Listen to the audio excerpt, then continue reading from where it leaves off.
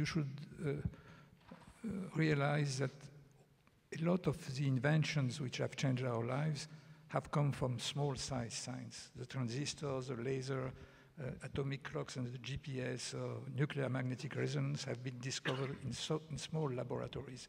And the collaboration between small laboratories across the world is very important.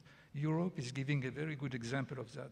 For example, the European Research uh, Council, which is given grants all over Europe all the scientists in Europe are on an equal footing to apply for these grants, and then they collaborate with each other. And it has been a very, a very strong uh, tool for Europe to develop excellence in science.